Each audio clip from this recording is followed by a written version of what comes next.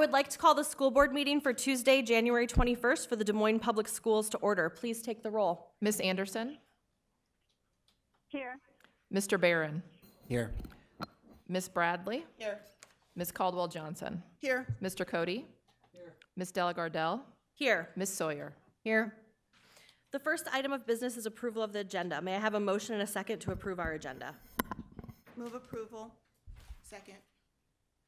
We have a motion by Caldwell Johnson and a second by Bradley. Please vote.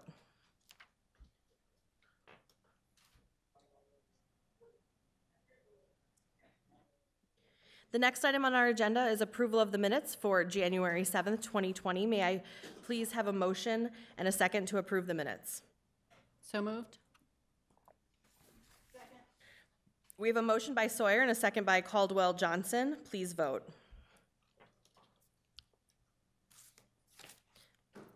Heather? Yes. The vote is approved 7-0, and I apologize, I missed the last vote on, our- on our approval of our agenda, but I think it was 601. Okay. I forgot to call you, Heather, I'm sorry. All right, we have no district recognitions tonight. The next item on the agenda is the consent items. We allow any person or the opportunity to speak to the board for up to five minutes following the presentation of an agenda item. If anyone wishes to speak to an agenda item, please go to the information desk to sign up. Remarks must be germane to the agenda, and we ask that you avoid references to personalities and character attacks, as those types of comments serve no productive purpose. We appreciate your input. As a reminder to the board and public, the board will not engage in discussion or deliberation with a speaker regarding comments made to the agenda item item. Discussion and deliberation will remain among board members at the board table with speakers' comments informing said discussion, deliberation, and determination as deemed necessary. Mr. Cody, do you have the motion?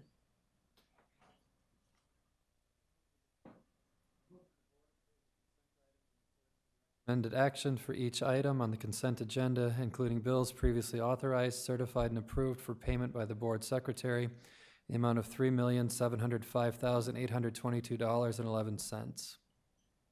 Is there a second? Second. We have a motion by Mr. Cody and a second by Barron. Any discussion? Please vote. Yes. Thank you, Heather.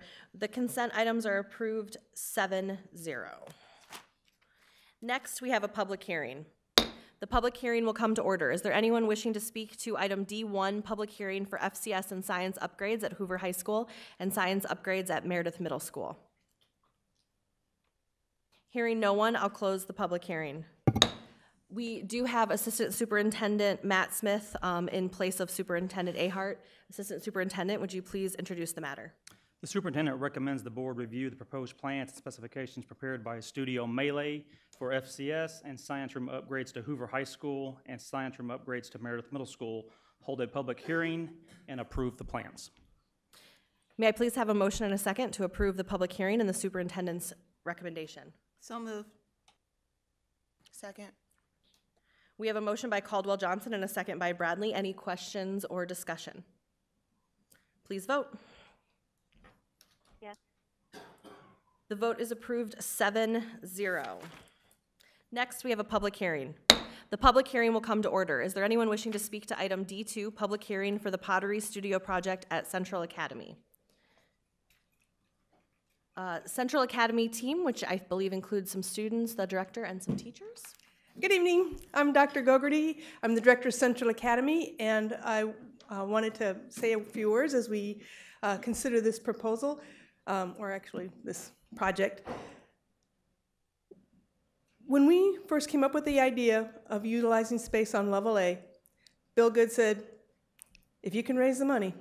And we said, God bless you, man. And so we went to town, and with the energy of Dara Green, our instructor, and our students who have just been um, wholehearted, and our community, we've been able to raise the money um, through fundraising. The uh, WT and Edna M. Dahl grant has put up a lion's share of the, of the cost of this project. The rest has been raised through student activism and through individual donors, some of them tens of thousands of dollars. And some of those people are here tonight, and they would just like to take a moment to say thank you so much for supporting us in this effort. Um, let's see, who we got first? Aaron? One of our students. Hi, everybody. My name's Erin Martin. Um, I'm a student at Roosevelt, and I also attend Central for some classes as well as pottery. Um, before taking throwing, I didn't really think I was that good at art. I'm not really good at drawing or painting, uh, really sketching, but it's allowed me to find my creativity in a new way um, by creating pots. And with the help of Miss Green, she's taught me a lot that I know, everything. Um, so it's really nice to have someone that cares so much about not only me growing as uh, an artist, but also as an individual. And I'm really excited. I won't be able to use the studio as a student next year because I'm graduating, but I'm really excited for what it can bring for future students. So thank you. John Busby from the community. Hi, thank you for your time. Uh, on behalf of the Renovate to Innovate Board, uh, this is an exciting project, not just for Des Moines Public Schools, but for Central Academy and for the entire state of Iowa. This project is an amazing, innovative way to find space, to privately raise the funds to create programming that really is unparalleled anywhere else in America. And to have it happen here is great. I want to greatly thank the Dahl Trust for their support, to our board, to the students, and very much uh, for the community because they become very engaged in this. And what can I say? Dara presented the idea to join the board for Renovate to Innovate. There was no way to say no to this project. Thank you for your time. And our instructor, Dara Green. You know, I talk in front of people all day, but yet I get so nervous, so I have a few notes. Um, good evening, board members. My name is Dara Green. I am the ceramic art educator at Central Academy, AKA the pottery teacher. On behalf of our former, present, and future pottery students, I would like to thank you all for your support in this teacher, student, and community-driven project. Providing quality art education opportunities for students is crucial, crucial for the learning and developing essential skills to be successful. New board members, I would like to invite you to Central Academy to visit our site, to visit the site of the new studio, and to get to know the students that you serve. Again, thank you so much for your support. We're absolutely thrilled with this opportunity, and we're so excited to begin. Um, Tilda Swanson Brown was one of our um, community supporters. She's been absolutely instrumental in helping us get our, our grants, and uh, and she's also put in some of her own money. I mean, quite a quite a chunk of change from her, and we really appreciate everybody and their contributions, so we can expand more opportunities in the arts for more students from across Des Moines. So thank you.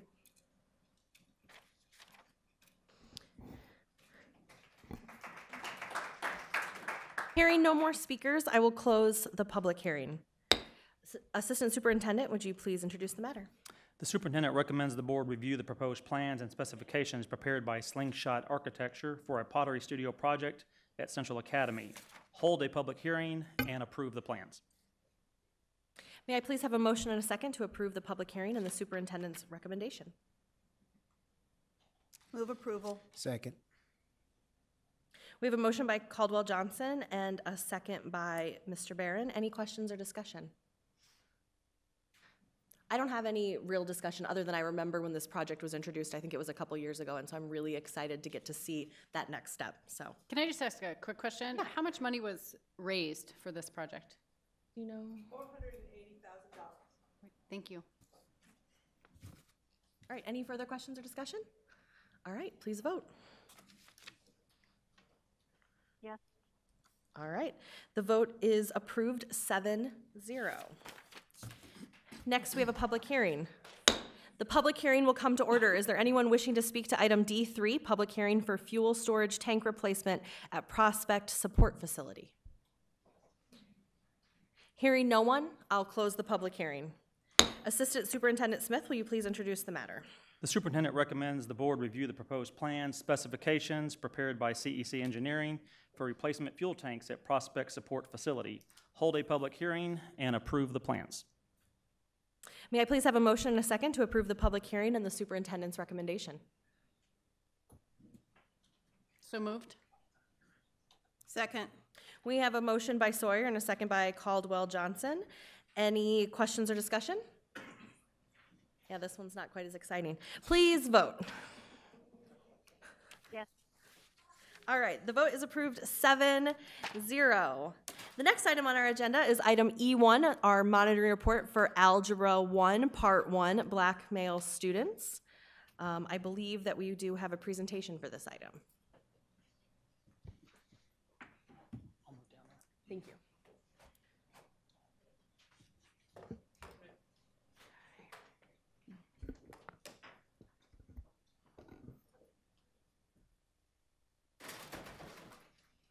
Not sure how this works, so we're just. Oh, Tim said the left. Okay. There we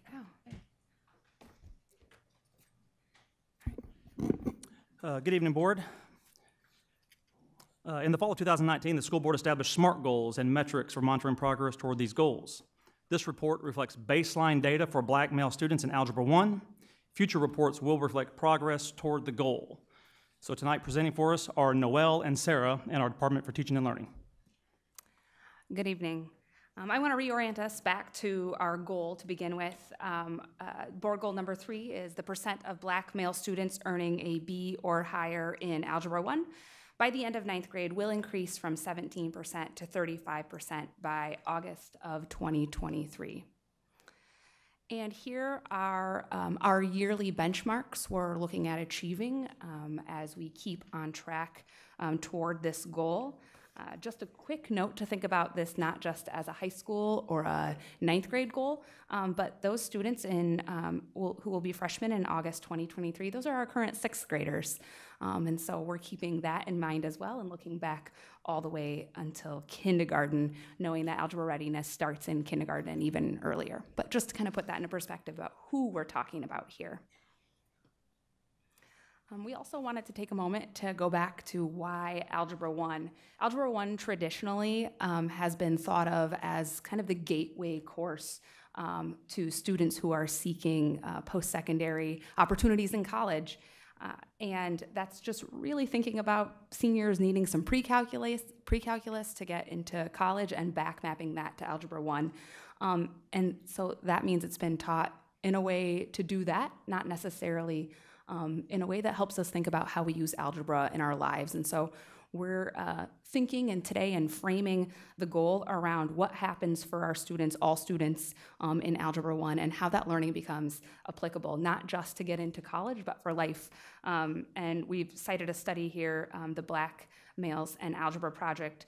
Um, their research shows that it's not just about getting into college, but um, creating a positive math identity um, and how that can increase their ability and their um, approach to advocacy for themselves outside of the classroom. So, in that mind, I'm going to challenge the board also to take on a positive math identity, even if you didn't have a positive math experience as a student, and start thinking of yourself, or at least talking about yourself as a math person, and we'll get you there.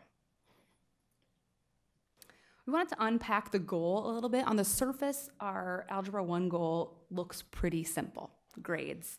Um, but there's a lot in that and a lot that leads up to that final measure point. So, uh, our, our final measurement is the average of semester one and semester two that's uh, on our students' transcripts. And uh, we're asking for a higher bar. Our, our, prior KPIs were at a C, and we're looking um, at students who are getting a B or better, and that's important because that B represents a mastery of the majority of grade level standards. It's a better measurement of being prepared for the next step. Okay, so I'm going to, um, I know you've had hopefully an opportunity to check out uh, the dashboard and, and do a little um, study prior to the board meeting, but I am going to walk through a few of the data points uh, for discussion. So uh, first thinking about um, our black males make up about 9% of our overall uh, student population. And so what we did was we broke it down um, by grade level. So looking at sixth grade, for example, of the 9% who are uh, black males, um, about 21% are English language learners, and about uh, 29% are receiving special education services. So um, the reason we included this data is is we can see obviously we know that um, students can fall in multiple demographic groups they don't only fall in one um, but we can also see um, there is an overrepresentation in special education for example um, when we look at um, how that how that breakdown happens. So you can see for sixth, seventh, eighth, and ninth um, what that makeup is. Keep in mind, um, a lot of times those students are being identified for additional services long before middle school or high school. A lot of that identification is happening early on in elementary, and so we continue to work um, in early intervention through our uh, tiered systems of support to prevent over identification. So the first thing, um, as Sarah discussed a little bit about uh, the goal being B or higher, one of the thir- first things that we've had to really tackle and take a hard look at is um, the number and the percent of students who are even getting access to Algebra 1 on time. And what we mean by on time is they are taking that course either early in eighth grade or on time in by ninth grade.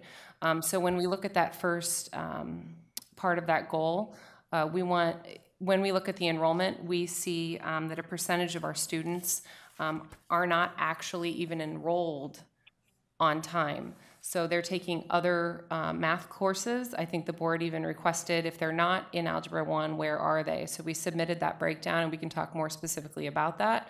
Um, but really, that's that's our first that's our first line of work is making sure that we're breaking down those systems that are actually tracking kids in some cases to not even be on track for algebra by freshman year. So it's not just looking at the instruction that's happening um, within those classrooms, but it's it's saying what's happening starting in fifth, sixth grade that's putting some students on a trajectory to not even have access to grade level expectations.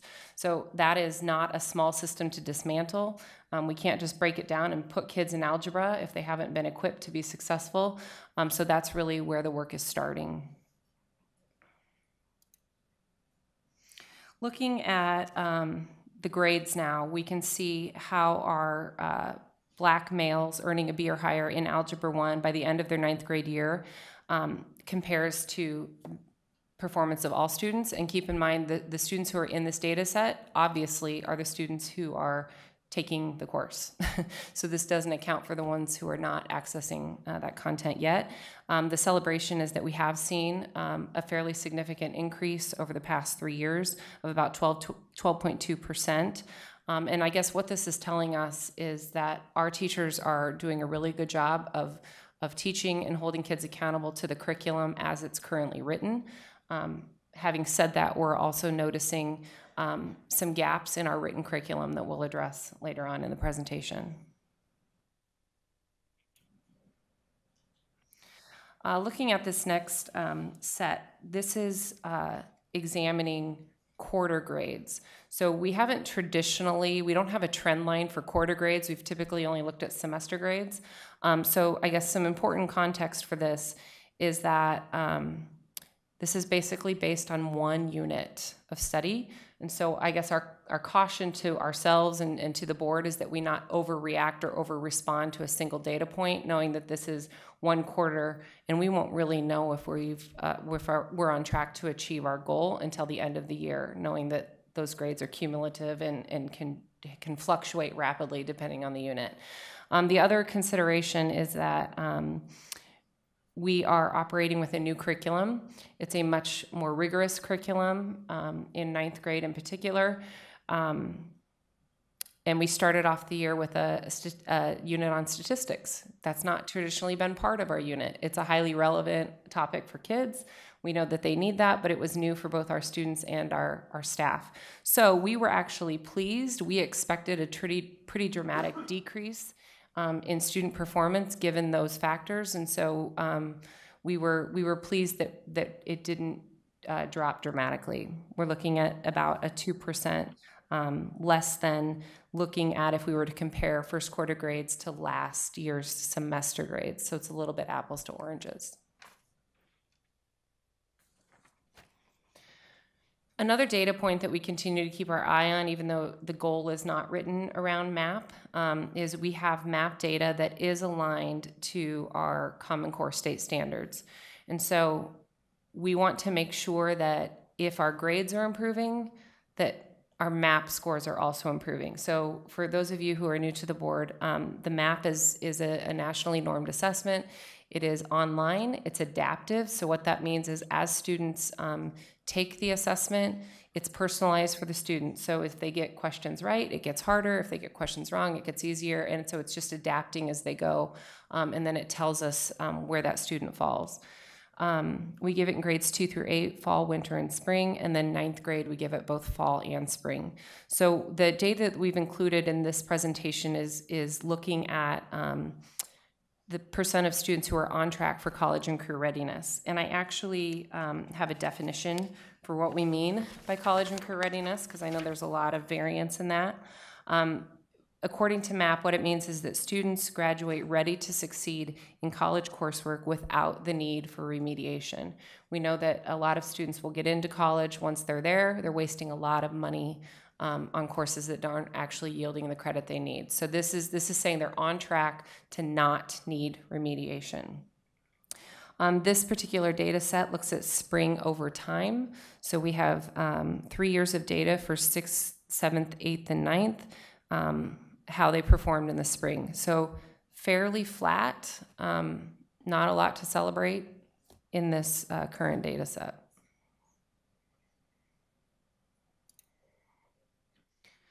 Looking at uh, this next data set, we're, we're comparing the performance, spring performance over the course of three years of African American males to all students. So I'll give you a chance to kind of consume uh, that information. There's a lot of numbers there.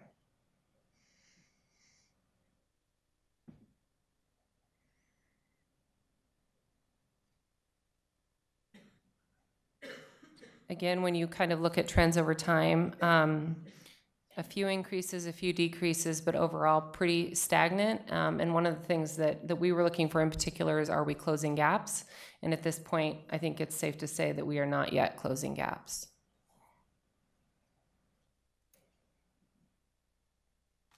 Here's kind of just the summary of looking at fall of 2016 as compared to those students in the fall of 2019 um, that trend over time.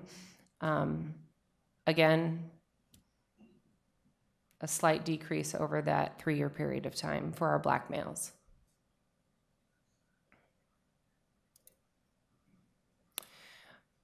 We um, are working to transition the board and our public to a public display of our data. I know you're familiar with the dashboard. Um, one of the things I wanted to point out, and I'm not sure yeah, I'm able to hover here, hopefully. Um, one of the things, maybe not, is if you hover over any of those uh, data points, you can actually get the N and the percentage. Here, Tim, I think, has it. He's going to pull it up for me. Whoops, this is touchy. So you can see the various areas, and as, as Tim hovers over, you can see where the goal is. Um, you can see, yeah, here we go. Um, the number of students, so it, it really kind of um, gives you additional information that, that we didn't want to include in the dashboard because it would be overwhelming, but you can uh, access that by hovering over that percentage. So we're really trying to, um, A, be transparent with our data, B, have it accessible to the board and community at all times, um, and C, really see progress over time toward that goal.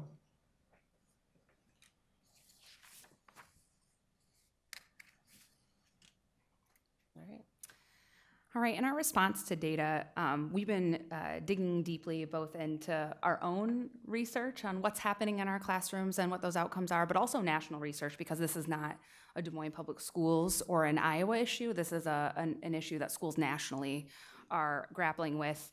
Um, and uh, some of the national research, including um, the opportunity myth, which um, was developed by the New Teacher Project, really points to four uh, ways to move the mark for students, not just in math, um, but that's how we're looking at, at it tonight. Um, high quality materials, strong instructional strategies, deep engagement, and high expectations. Not groundbreaking work, um, but where it is groundbreaking um, is that in our community problem solving um, process, those are the same things that our community, our students, our parents, our teachers, and our district staff have lifted up to. Um, these are the six root causes through um, a well-facilitated process that those sessions uh, have currently identified um, that students uh, have equity of high expectations that teachers and parents and they themselves believe that they can achieve high levels in math learning um, the purpose of math. We just we started our, our night tonight talking about why algebra 1 and how we've traditionally looked at algebra 1 um, as a gateway to or a barrier to post-secondary opportunities rather than or in addition to how i can use this math to understand the world around me.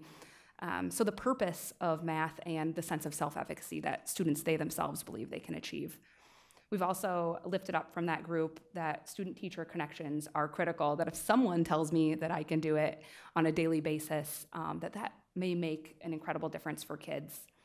We always know that resources and training for teachers are important, and, and it goes beyond just curriculum and instruction, which was also lifted up, but to those three things as well. How do we hold, how do we communicate high expectations for students? How do we set a sense of purpose, and how do we create authentic connections? So it can't just be about the enacting of a scripted curriculum, but about the more, the whole package when it comes to math instruction. And as Noel lifted up, um, the community problem solving also identified just access to the course and to grade level learning as a root cause. So it's nice to see um, that the national uh, research also supports what our community is lifting up, gives us a lot of confidence in where we go from here. These three that I've highlighted, the expectations, the purpose and self-efficacy, and the student-teacher connections, probably not surprisingly, are more difficult to verify. And that's what we're doing as part of that process.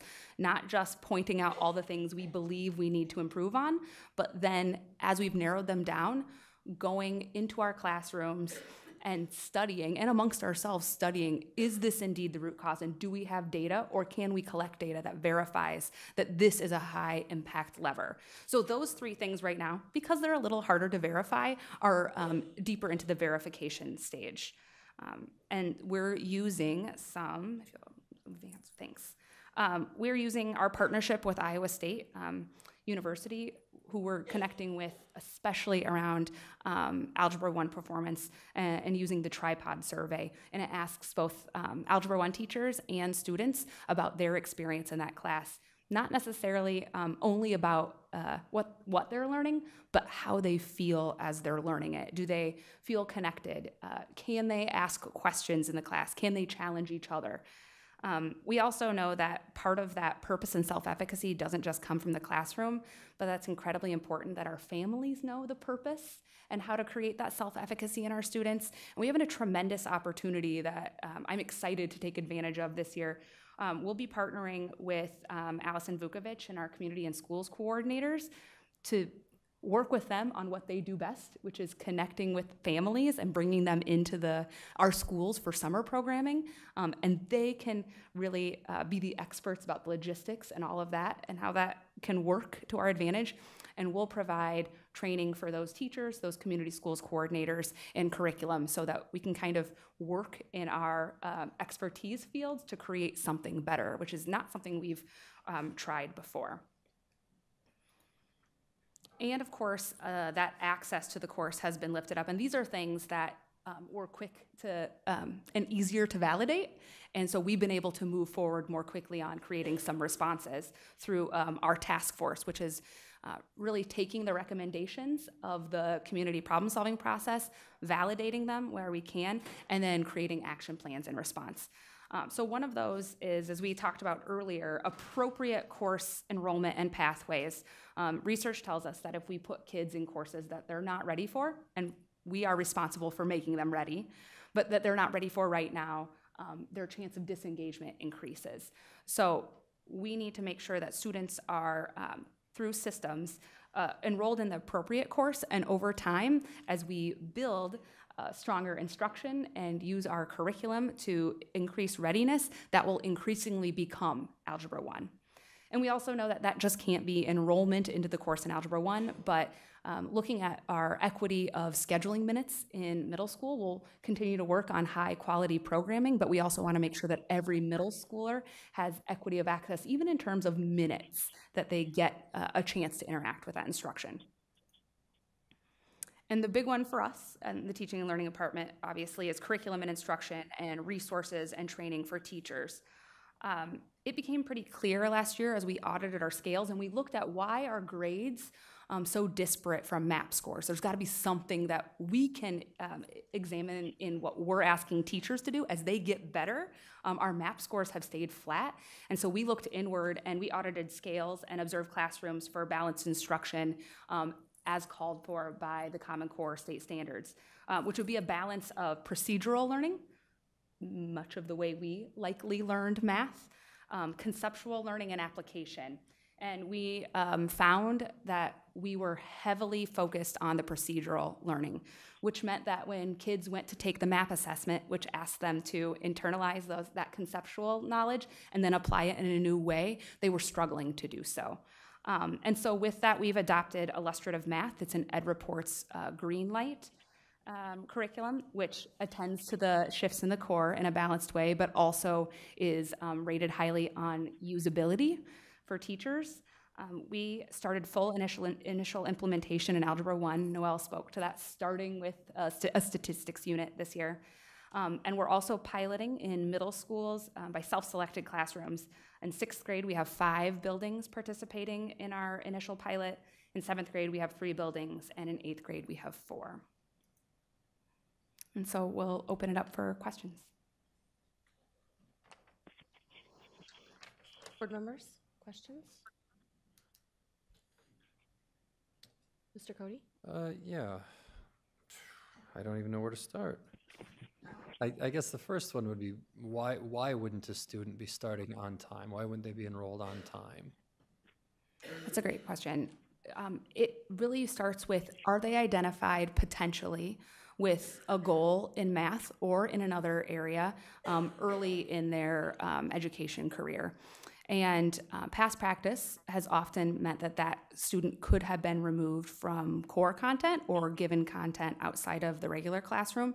And that um, we haven't seen with confidence um, students becoming getting back on track. And so when a student is removed from that core content, we often see them not making, making gains to keep up with grade level content.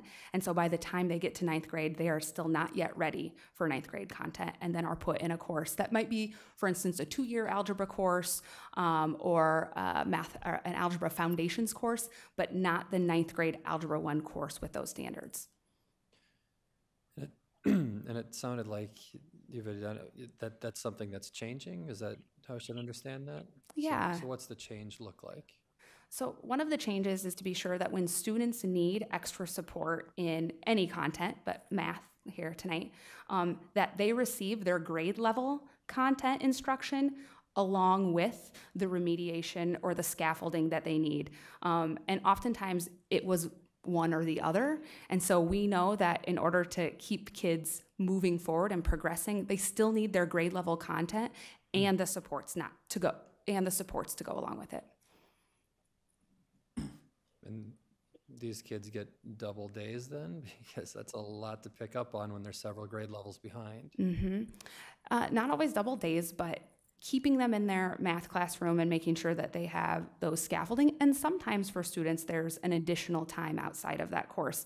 But it's it's also about during that grade level instruction what scaffolds do, can be provided and that's about giving teachers tools for supporting kids in that and sometimes co-teaching and other things like that it really depends on to your point like how far um, discrepant they are and what it is what skills that student needs because it isn't all math skills always that they need support on and and sometimes we sort of throw the baby out with the bathwater right and so if we can really um, work on pinpointing what skills students need and default to um, helping support them in the classroom as much as we can so that we don't remove them from core, we have a better chance of keeping them on track.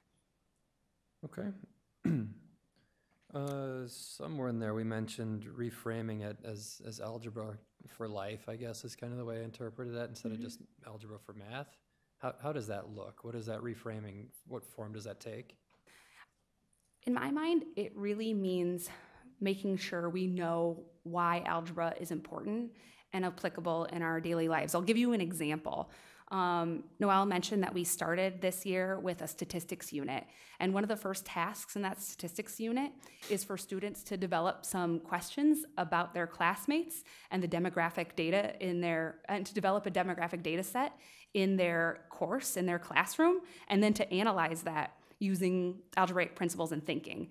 Um, so putting algebra into context rather than a series potentially of formulas to be memorized and solved when given a set of problems um, is really the goal, is to put it in context and make it useful while not um, sort of watering down the content, but trying to understand why this sort of thinking um, applies to their lives. So, so I, I don't know if you guys know this or not, but I taught math in the district for a long time, as, well, until two years ago. Mhm. And one thing that I noticed was when we adopted SRG, statistics was the unit that got left out because teachers wouldn't get there at the end of the year. It Mhm. was the last unit in the book. There was a philosophical debate at our, at our uh, PLCs, you know, is it better to get to all the content or is it better to drill down on these backfill skills? Has that discussion, I mean, are we talking about fixing that? Because something's got to give. You're absolutely right. Um, and one of the ways that we've addressed that is through illustrative math curriculum, which makes sure uh, Common Core standards in math are broken down by what the major work of the standard is, and then there's some additional and supporting standards. Um, and rather than having to pie- like piece through all of that and make that determination. We have a curriculum that's built to address all of the major standards and make sure that the additional standards are not necessarily taught as one-offs or after or we don't get to it because we're spending all this time here, but embedded in the work of the major standard. And you said only a few of the middle schools had adopted that? We're just starting with a pilot. Um, we wanted to really kind of get it in there and make sure we also understand how it works and get some teacher feedback about the best way to install it because this is for even especially math teachers and potentially a new way of thinking about math and reorganizing the way we've taught it before and so um, we started by offering it up to some middle schools to kind of mutually support each other in what a full uh, rollout would look like. And so we anticipate for next year all middle school classrooms will use this curriculum. And I guess when it said, you know, four buildings or whatever at sixth grade, is that like one classroom in each building or all the sixth grade in that building? you got it. All, the plc hmm the, all the, the sixth grade. Okay. So then I guess I want to double back again to that, that algebra for life thing. Mhm. I also spent a lot of years as an elementary ma- teacher. I was a math coach in the district when I started. We don't have those anymore. One thing that I noticed was elementary teachers are almost to a person not math teachers. How are we supporting them in making this math for life when they're not comfortable with math by and large? Yeah. Uh, I think we um, can see as we're working on that EL curriculum uh, that we've talked about in the past couple board meetings that as they're getting that curriculum under their belt and addressing early literacy, we're kind of coming from the other direction with our algebra goal, knowing that they're going to get that learning under their belt around literacy, um, but they'll get the same supports just as they have in around early literacy in math in K5 in the coming years, um, knowing that we needed to kind of move through the system and not overwhelm folks. Um, but yeah, it's absolutely the next step in math learning, and part of that is developing those math those teachers, to your point, as their own math identities and building some content knowledge. Um, because one of the questions that came up at community problem solving is how many teachers, even at the elementary level, are endorsed in math or have some formal math learning, and we're finding it's not very many, unsurprisingly. And so we know that we have some math uh, literacy to build in our teachers before we can build it in our students. And I guess in response, um, Kyrstin, you had submitted some questions around resources. And so one of the things we're looking at right now is how do we shift resources to get more expertise and, and support available. You, you referenced math coaches um, being something that we've had in the past. While we're not necessarily considering additional math coaches per se, we are thinking about how do we better utilize um, our AEA support system in a more targeted way. Are there positions that are currently vacated um, that we should recycle into getting more math-specific content knowledge and support, knowing that that is an absolute gap that we recognize? Mhm. And also developing our leaders in their understanding of, of uh, effective math instruction too. So when you say leaders, you mean like building principals, uh, instructional coaches? Instructional Okay. coaches. Absolutely. Positions that already exist. Yeah. Mhm. Um, I guess my last question then is,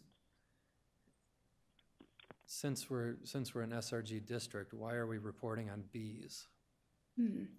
So at the end of uh, the good question, the, at the end of the semester, our grades do um, get our our students' performance do get averaged into a letter grade for transcripting, um, and so it is kind of a an overarching look.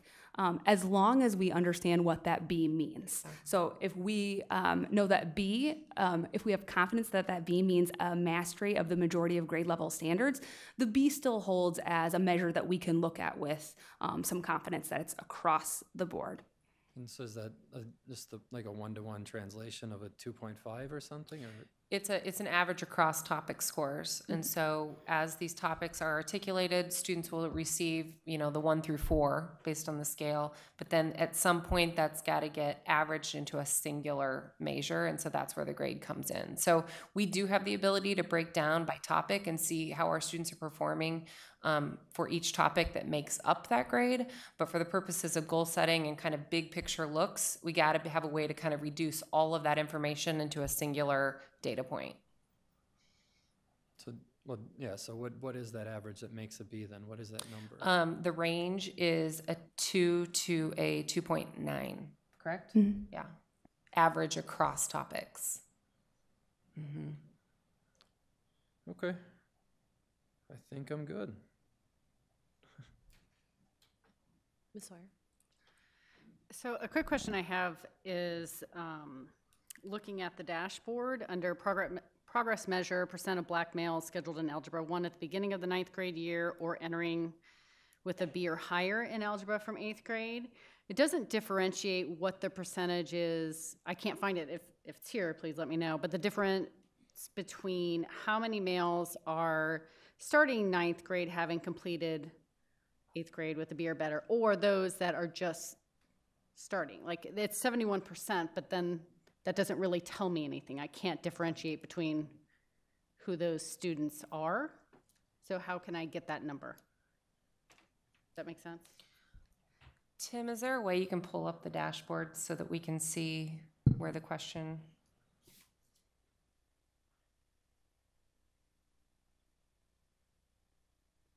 Okay.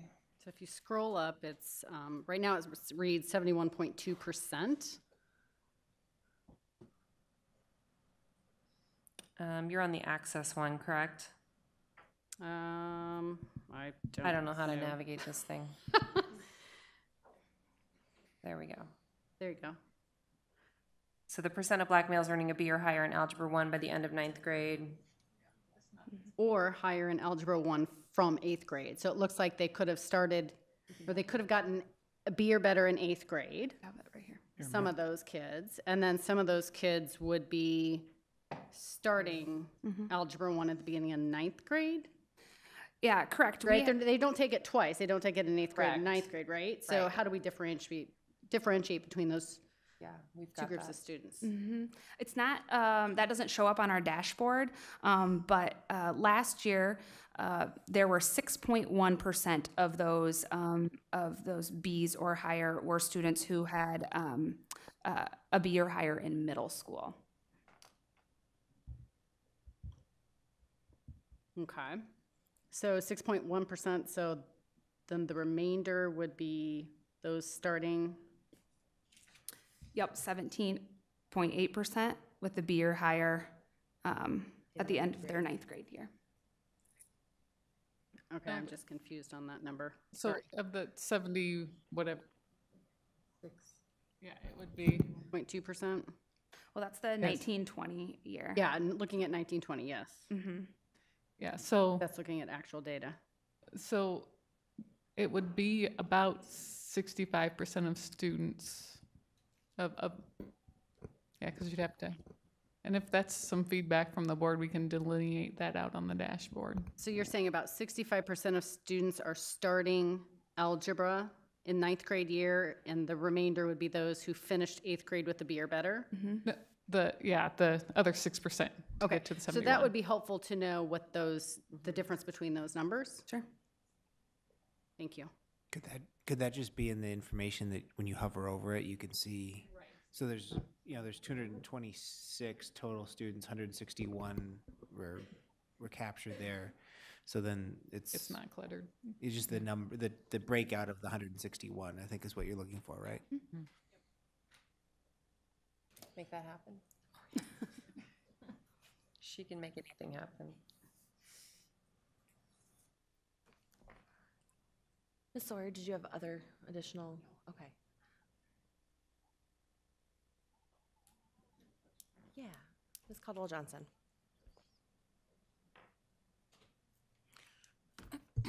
Just a couple. So, um, we already talked about what, what and why the use of the B, so I get that. But I guess my question really around the B goes to fidelity of SRG and how we ensure that a B at East is a B at Lincoln Yep. or same at the middle school level. So what's our measure for testing the fidelity of that B? Mhm. Uh, it's actually a critical piece of why we bring teachers across the city together um, over the course of the year on an, a really decent frequency in two ways. Um, one, we have um, PLC leaders. Um, those are teacher leaders who really develop kind of their colleagues, um, and we bring those folks together once a month. And a, a significant part of that learning is calibration on student evidence, on what we look at student evidence, looking at our scales that delineate the quality of learning and the level of learning, and calibrating as a team on that so they can bring that back to their schools. And they also come together as an entire PLC, for instance, all Algebra 1 teachers um, a number of times a year to do that work. And so it's an ongoing calibration, and it's never really done. Um, and that really makes up the bulk of those conversations. What do the standards ask our students to do? How do we know we've done that? What does that evidence look like? And how do we, as a set of educators, agree on how to provide student feedback, sometimes in the form of grades, but most effectively in the form of other kinds of feedbacks in the midst of that? So we're doing sort of also wellness checks rather than autopsies, so that, and one of the reasons why quarter grades is a, li- a little hard to know what's coming next, um, because there's opportunities then when we catch students who need support and to provide feedback, um, that that's standards based and related to then the end goal. So And I would, I would just add that, uh, moving forward, I think the heavier lift is, certainly, we've been working to calibrate across buildings, to your point. Um, But if we're all calibrated around the same low expectations, we're not gonna get anywhere. So, so the next phase of the work is calibrating around an external bar, which MAP can provide for us, um, as well as, as further study around what the Common Core actually demands of students. Um, because there is a danger, not that this happens frequently, but it does happen, that, that you could have four teachers all agreeing on student evidence, but if the evidence doesn't meet the national standard, therein lies the problem. So it's, it's actually a two-pronged approach Mhm. that we have to take, yeah. Okay. And then I just have uh, two other quick questions. So I'm going to go back to,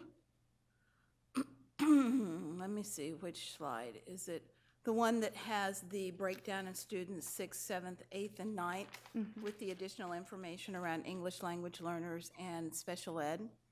So if you look at that, um, and you look at each of the grade levels, am I to assume that when we say all, we mean all? And even though we're showing forty-eight percent English language learners and sixty-seven percent, I mean, sixty, twenty-one percent English language learners and twenty-nine percent in sixth grade, those students are also going to be considered in the number that we report on when we report all black males. Okay.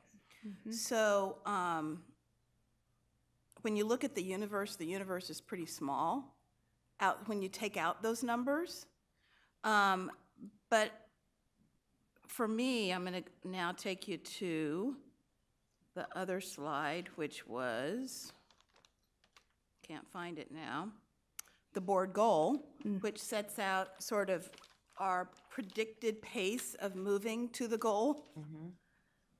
That's huge. And I know it's a stretch, but I guess my question is, at this point, we're already two points down from previous year. We're projecting in August of this year to be at twenty-one percent. What are you gonna do to get there? What does it look like? Help us understand how we create the right framework instructionally to get kids there without doing something that isn't even feasible.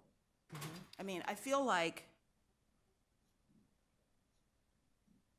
the interventions are gonna have to be even beyond robust and significant. Um, Because we're talking about a group of kids in a lot of instances that may already be underperforming in math. So, uh, help us understand what the strategies are. How we turn the curve quickly, and how we Right. get ourselves on task. Right.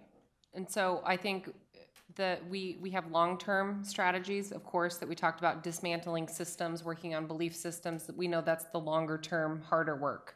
Um, But the, the actions that uh, Sarah outlined as far as um, how we support teachers, uh, curriculum, how we ca- calibrate, most importantly, what we start saying no to, so that we can um, put our all of our collective energy around this goal.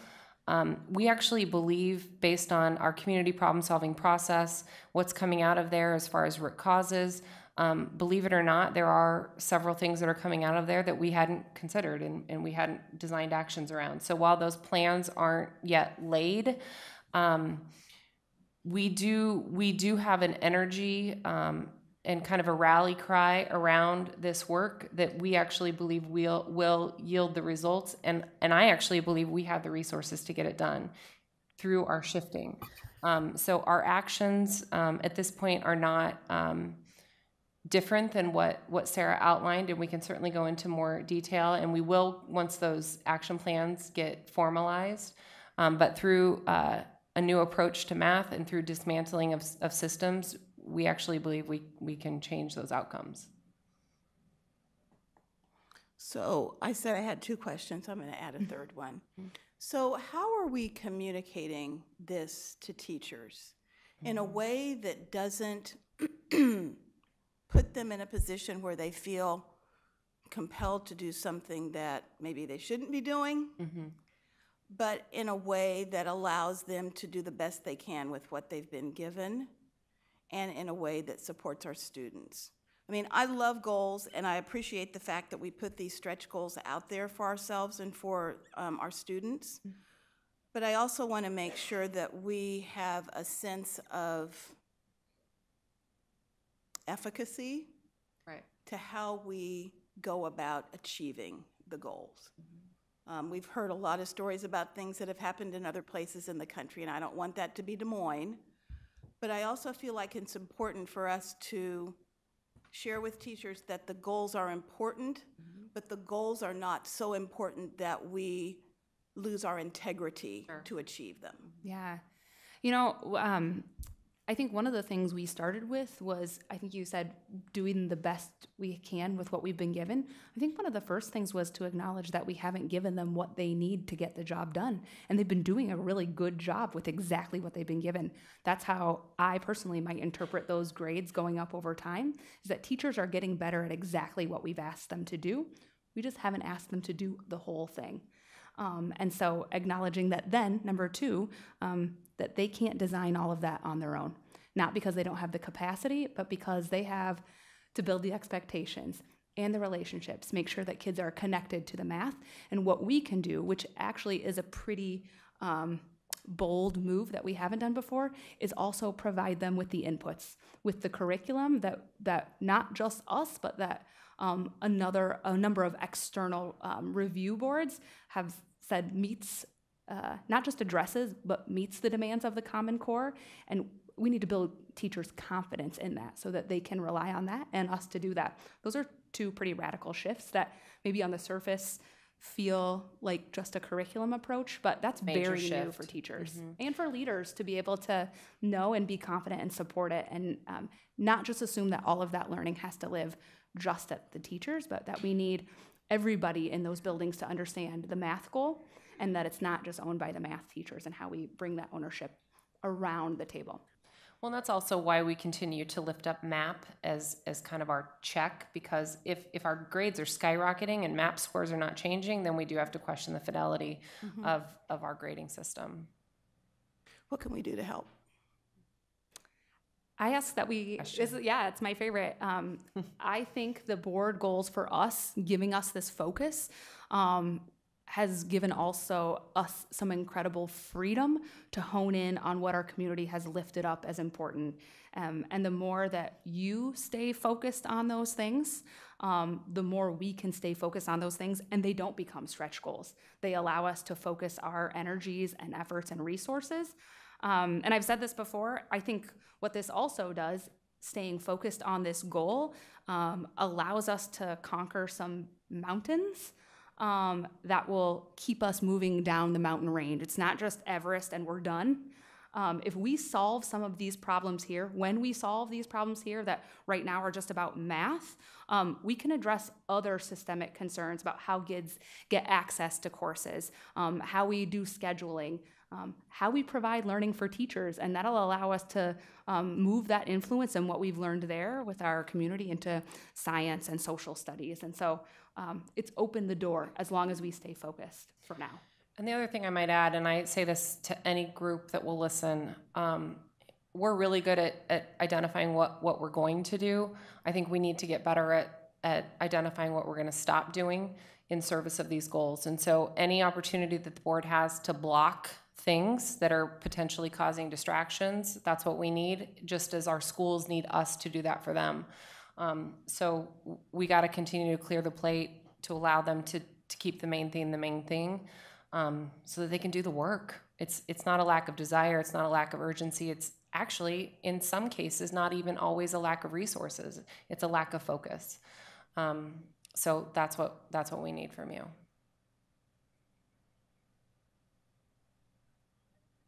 Other board?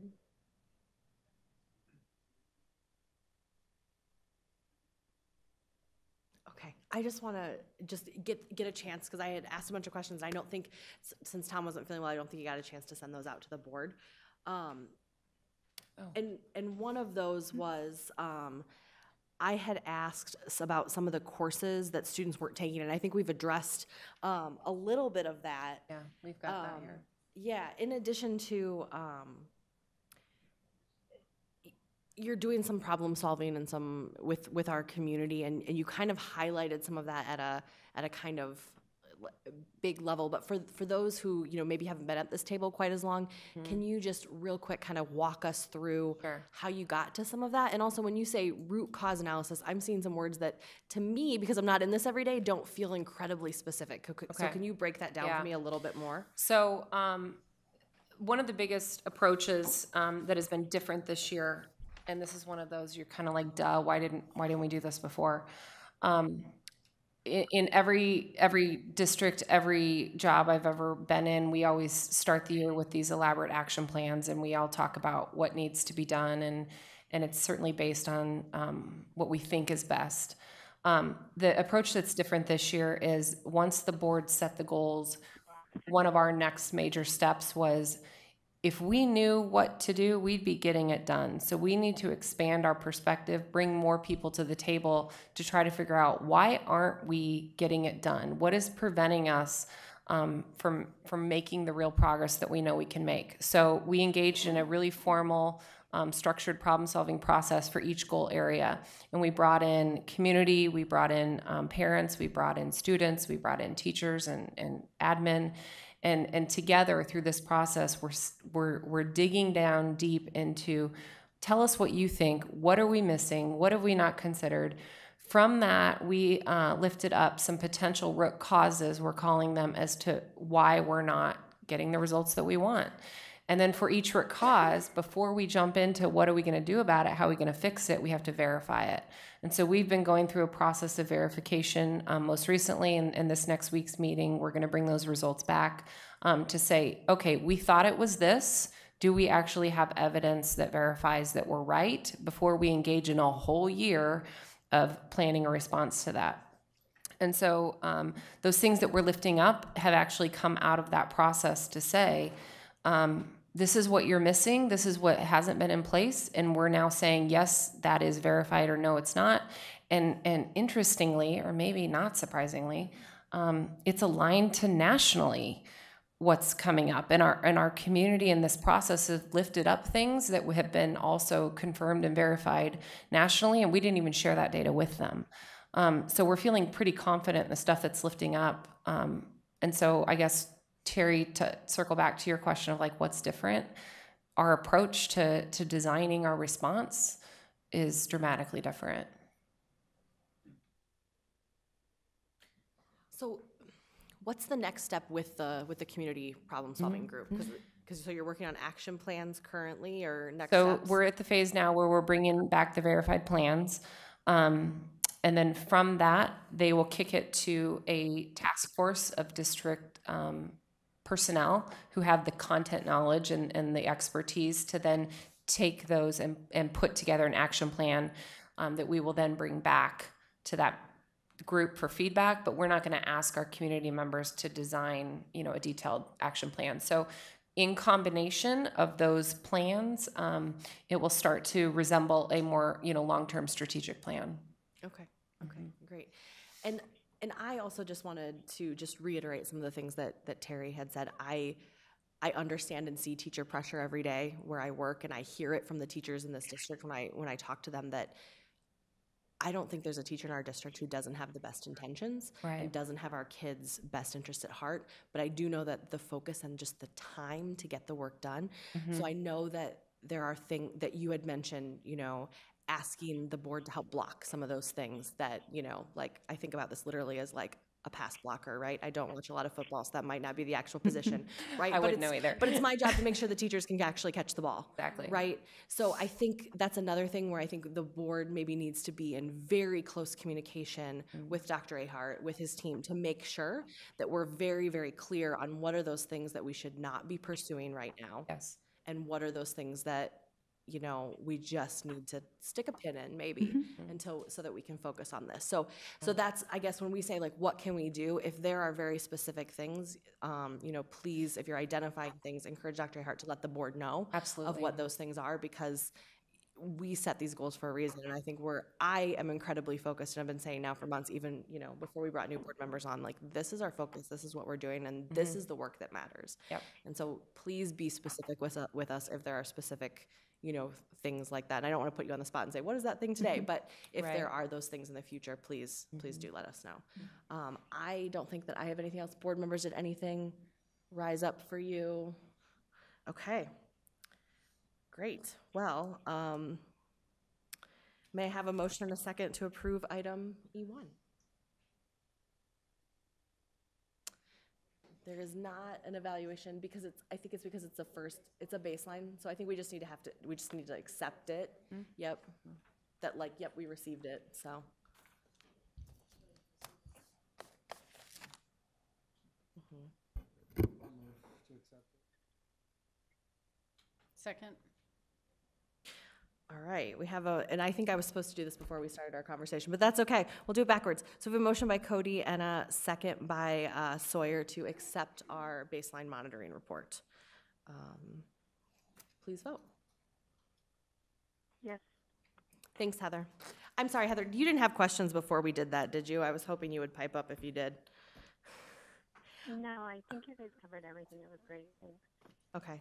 All right, we have no information, um, only items this evening. So next on the agenda, we have items of privilege. I just, um, have one, uh, a couple quick notes, and the first is that I think it is fantastic anytime we get to hear students at this board table. And so I would encourage any students about, you know, you know, telling us anything that's going on in your school. I'd love to hear about, you know, more of the great things and programming and opportunities that students are getting access to across this district. So if teachers know of students that would be interested in coming and telling the board about some of that work, I would love to hear more about it. My second note is that caucuses are happening across our district. Um, Monday, February 3rd, and I'm so excited to welcome the community into our school buildings, and I look really for, I look forward to taking part. Yes, yes, I look forward, yep, that's, that's my next bullet point, Terry. Um, I look forward to being part, um, of this historic event, and I also want to say that the initial guidelines, I think that were shared, um, with many of our volunteers across Polk County, um, were incorrect. Um, when I talked with, uh, Dr. Ahart, he said what often happens is chairs get delivered to sites for events, and because of the scale of this, that cannot happen. However, the tables and chairs and all of the things that are in the school building where these events are taking place that are currently in that building um, can be used. And if anyone has further questions um, on that, I'm sure that uh, Bill Good would be more than happy to, you know, direct you in the in the correct uh, direction. Do any board members have any comments to share before? Okay, Assistant Superintendent Smith. Yes, uh, we just want to thank our students, staff, and families for staying safe through our recent bout of challenging weather. And thank you for your patience as we do our best to predict the increasingly unpredictable weather and make decisions about delays and cancellations in the interest of our students, our staff, and our family safety. Uh, on a last note there, we do not yet have a defined timeline for a board vote on the community stadium proposal. However, in a meeting last week, the board and superintendent agreed in principle to investigate avenues to make additional investments in our outdoor athletic facilities. After some further analysis of both SAVE revenue moving forward and SAVE and PPEL projects already in our upcoming facilities plans, next month, the superintendent will be bringing to the board a proposal for greater community involvement in identifying the best opportunities for further investment in our athletic facilities, including the community stadium. Okay. That's it. Great. Um, so without any further business items, our meeting is adjourned.